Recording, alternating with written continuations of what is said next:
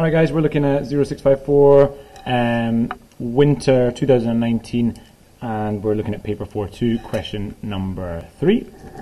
Okay, let's have a look. Familiar situation. We're being asked to take two of our bits of the electromagnetic spectrum and place them into their correct positions. Okay, we're looking this time at X-rays and gamma radiation. Okay, place them in their correct places in the incomplete electromagnetic spectrum. Okay, you should know that X-rays and gamma radiation come over this side on the right hand side of visible light on the same side as ultraviolet and that means that they are high frequency low wavelength. Okay? X-rays slightly lower frequency than gamma radiation on this side here so we put our two answers in okay obviously anytime I do this I try and complete it for you just to remind you. On this side here, we've got microwaves, which are next to infrared, and radio waves, which are our longest wavelength. Okay, so over here, we've got high wavelength, low frequency. Okay. Next one, you are being asked to discuss an application of gamma radiation specifically in a hospital. Okay, so keyword there being in the hospital. And the idea here, this is radiation which can be used to treat cancer. All right, be careful over here. I've noticed in previous times some people have written chemotherapy here. Careful, chemo, the chemo means chemical. All right, this is chemical therapy. The therapy that we use with um, gamma rays is actually something called radiotherapy. All right, so just be careful there. If you're talking about this, try not to use the word chemotherapy because that's not necessarily the same. All right. We then got a discussion about our hospital with a generator, and it has um, this for emergency use. And we're asked to think about the uh, energy transfers. Let's think about it first. Let's think about what happens in a generator. We've got fuel being burnt. Okay, so the chemical energy inside my fuel becoming thermal energy. All right, so we basically we're burning the fuel.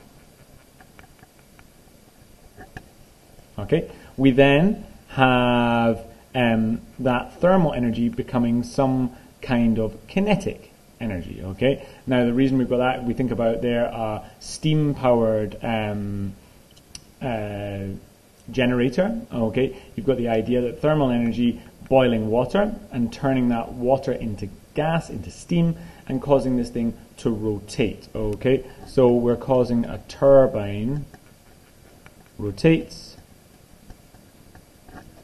Okay, well, as a result, as we know from our study of electromagnetism, um, when you have that rotation turning into electrical energy, then you've got electromagnetic induction. Now, in an answer, you would not be required to write these little bits in the brackets, but I'm just trying to explain you here to you here the thinking here. Burning the fuel, releasing thermal energy. Thermal energy then heats something and becomes kinetic in the terms of the turbine, and then the kinetic energy therefore becomes an electrical um, power supply. Okay, we're then told about the efficiency, very low efficiency of our generator, 25%.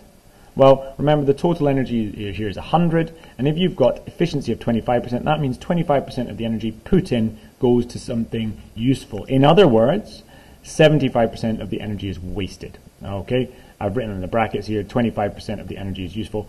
Really, either of these statements would probably work as an answer here. It's only a one mark question. Last one. Okay, nice and short this question. We've got an isotope strontium um, 89 is used in the treatment of bone cancer. Okay, notice, notice. Okay, you've got the um, you've got the answer really up here to question two, uh, down the bottom here, although it's a different type of um, radiation. Okay, you're told that strontium 89 decays by beta particle. All right, this is one that's less common in our past papers. You've got to remember that your beta particle, I'll write it again over here, is beta 0 with a minus 1. The reason it's 0 is because a beta particle is a fast moving electron. All right, um, the reason that there's a minus, uh, and, and therefore has no nucleons the reason it's a minus 1 is because what happens during that process is we gain a proton. Okay, a neutron essentially becomes a proton. So we take our 0 minus 1, we put it on the right hand side here. Usually the decay particle goes over here. All right, 0 minus 1. We've got 38 and 89, and we know that the numbers have to balance. Well, 89, take away my 0, just leaves me with 89. Yeah. And then 38, take away minus 1, is going to give me 39. Okay. You are told that the element produced there is yttrium. Okay. Uh, I then used the periodic table to have a quick look and found that the symbol for yttrium and its atomic number there were Y and 39 respectively. So that's all for question three.